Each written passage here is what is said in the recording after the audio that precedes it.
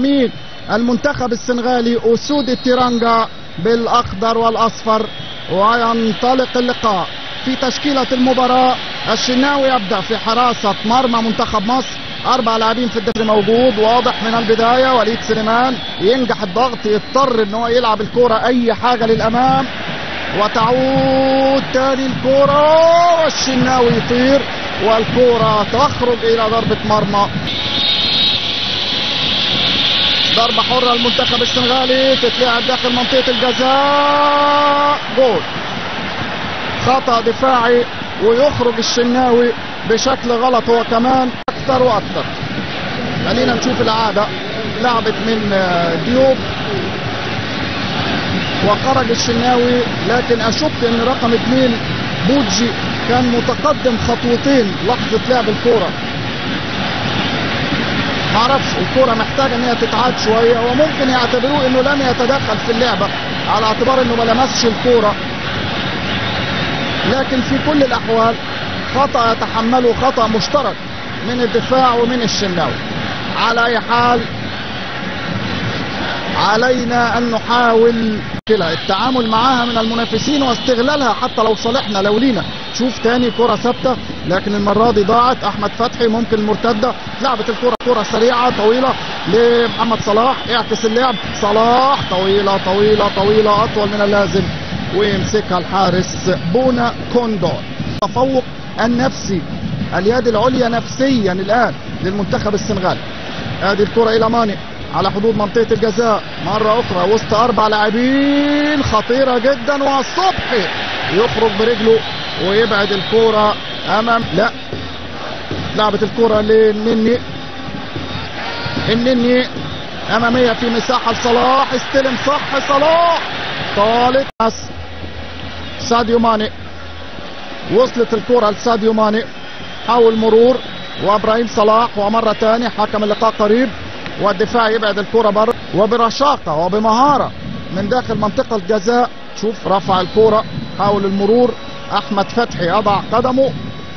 حكم اللقاء قريب. أفريقية. الكل على أعصابه. الكل بيدعي. والضربة الركنية. ومحمد أو الكرة الثابتة. الضربة الحرة تتلعب ومحمد صبحي. وفرصة للتسديد. تريزيجيه يعمل هات وخد أو 1 3 تحديدا. وتريزيجيه يلعبها في اتجاه المرمى. لكن من جديد. لجيلو بوجي يلعبها. تمر من المطلوب أيضا. أحمد فتحي نبعد عن اللعب الروتيني الألعاب المتوقعة. هو ده هو ده هو ده. وليد يلا جول محمد صلاح في إدريس هجانا بوي لاعب ليل. الفرنسي كرة الأمام وعلي جبر والكرة المشتركة. دفعة دفعة دفعة. والملعب شيخ بنجي وليد بذكاء. ينجح في الحصول على فاوت لعب الكرة مرة تانية إبراهيم صلاح. صبري رحيل هيسدد لا يلعب الكرة عالية داخل منطقة الجزاء يبعدها الدفاع السنغالي.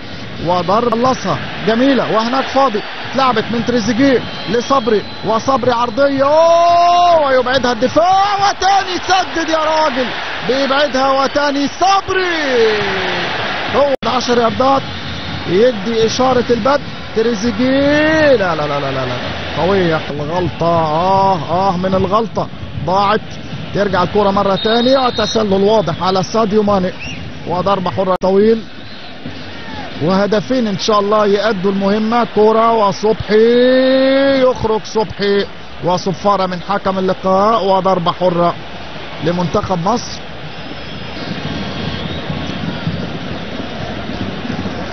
آدي الفاول آدي الخطأ.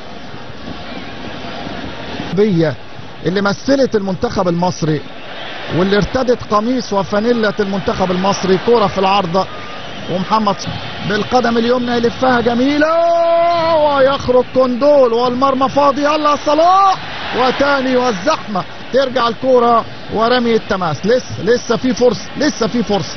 الكرات الثابتة هي مفتاح هذه المباراة. هدف السنغال كان مجرد إشارة لكن لازم نستغل الكرات الثابتة بشكل أفضل من ذلك ودفاعهم يتيح لنا استغلال هذه الفرصة. على أي حال انتهى الشوط الأول بهذه النتيجة نلتقي بإذن الله على خير بعد هذه الاستراحة القصيرة ونتمنى أن تتغير الظروف وتتغير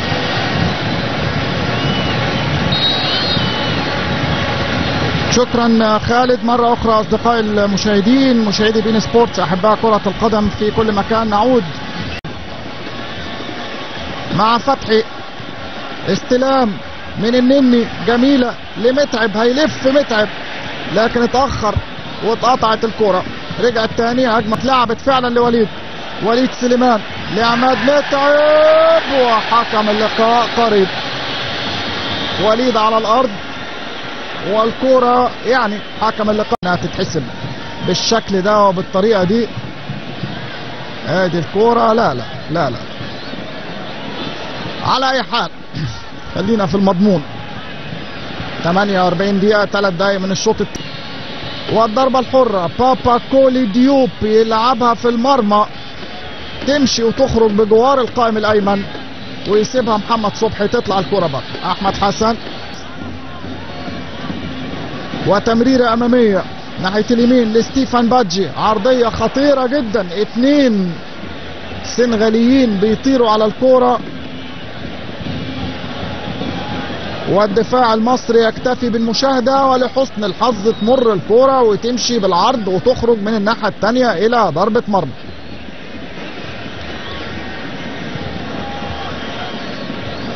يعني منتخب السنغال وهو ألان جيريس وهذا الجيل أيضا لا يقل موهبة عن جيل 2002 محمد صلاح عرضية داخل منطقة الجزاء وكرة خطيرة جدا. ترجع تاني لصبري رحيل وابراهيم صلاح يستعيد الكرة مرة أخرى.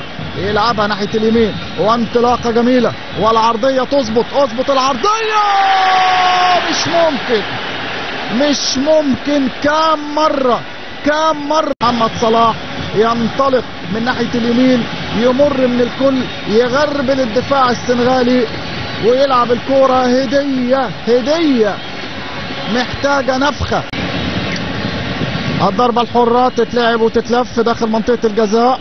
خطيرة جدا. ابعد ابعد ابعد. بعدت الكرة. حكم اللقاء يحسبها ضربة حرة للمنتخب المصري. مغامرة من شوقي غريب.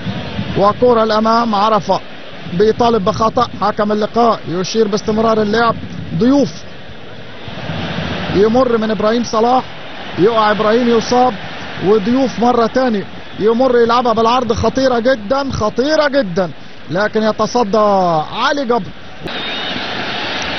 على الأرض ناحية اليمين حازم إمام في أول لمساته. أمامية جميلة جدا انطلاقة من صلاح. صلاح على رجله الشمال. خلص يا صلاح خلص يا صلاح خلص. لعبها لكن تصطدم تريزيجي. كرة لحازم عرضية من حازم وعماد متعب. وتاني فرصة لأحمد فتحي لعماد على حدود منطقة الجزاء. يعيدها للخلف. تاني لتريزيجيه. تريزيجيه يتسرع ويشوط. خلي التسديد دايما هو القرار الأخير الاختيار الأخير. كمل. اجبروهم على الخطأ. خليهم يغلطوا. غلطوهم. كورة من وليد. ويخرج كوندول. ويمسكها لو بعيد بس لو بعيد عن الحارس شوية.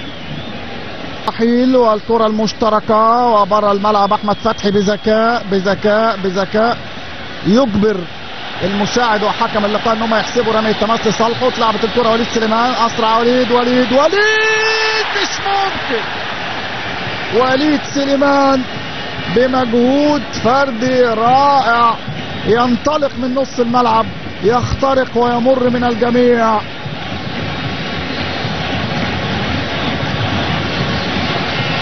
وتتلعب الكرة لكن فوق العارضة على رجله اليمين.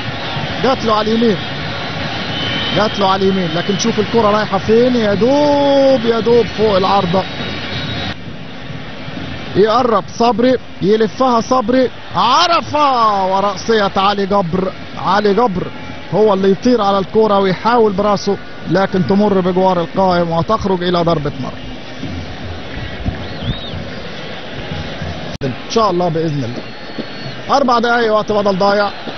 ممكن التعادل والله على الأقل يعني لحفظ ماء الوجه لكن خلاص ضاع التركيز ضاع التركيز من الولاد في أرض الملعب. وصل. ضربة مرمى لمنتخب ما ادي إعادة الهجمة عرضية ساخو بيافرا ساخو أو ساكو. يلعبها الحازم ناحية اليمين. حازم يكمل يقرب له صلاح. لكن حازم يرفع الكرة. مش ممكن يا راجل. عرف السيد أمام المرمى ويضيع أول أهدافه الدولية وكان هيكون أغلى أهدافه الدولية كمان. هدف ينقذ مصر من الهزيمة أمام السنغال. لكن لكن لكن لكن عرف يلعب الكرة في الزاوية البعيدة رغم إن القريبة أسهل رغم بعيدة إيه وقريب المرمى كله مفتوح. المرمى كله مفتوح لكن خلاص هي مش عايزة مش عايزة يا أحمد مش عايزة عايزين نقصوا على هذا اللاعب مش عايزين نقصوا عليه. ضرب وخناقة وعماد متعب. يعني عماد مختار أطول واحد فيهم عشان يتخانق معاه.